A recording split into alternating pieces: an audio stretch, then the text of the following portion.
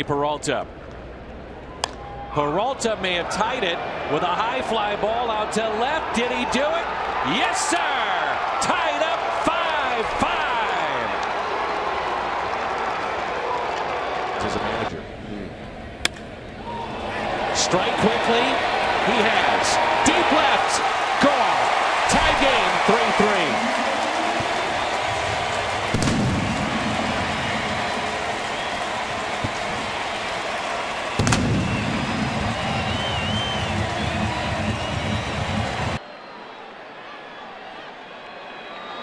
One, two, double play ball. Peralta flips to one. Whoa, and a double play. My goodness. Well, the momentum changed again. Wow. How good a, was that? What a play by Peralta. The dive. 2 1 pitch. That's ripped into left center field. All the way to the wall. One run will score. Here comes Matt Carpenter. He will score. And with that, it's a 6 0 St. Louis lead as Peralta drives in RBIs 36 and 37.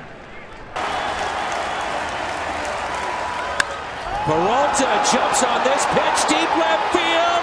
Gone! It's gone! Down to their final strike! Peralta! Two run bomb! And that sends a jolt through Wrigley.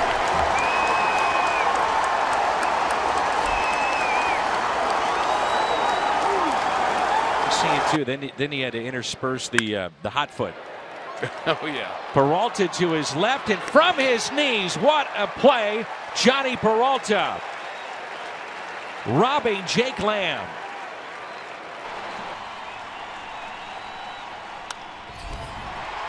Into right, sinking. Oh, it gets away from him. One run is in. Here comes another.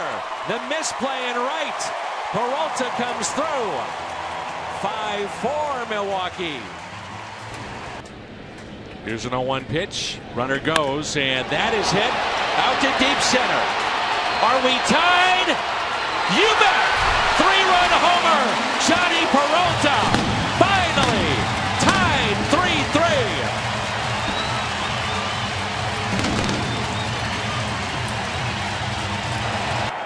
3-3. The 0-2, and Peralta hammers one into left field.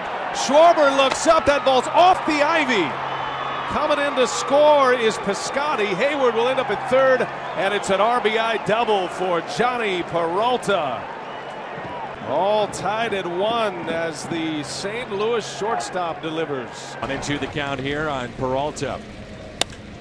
Jhonny with a fly ball out to deep left field. Track, wall,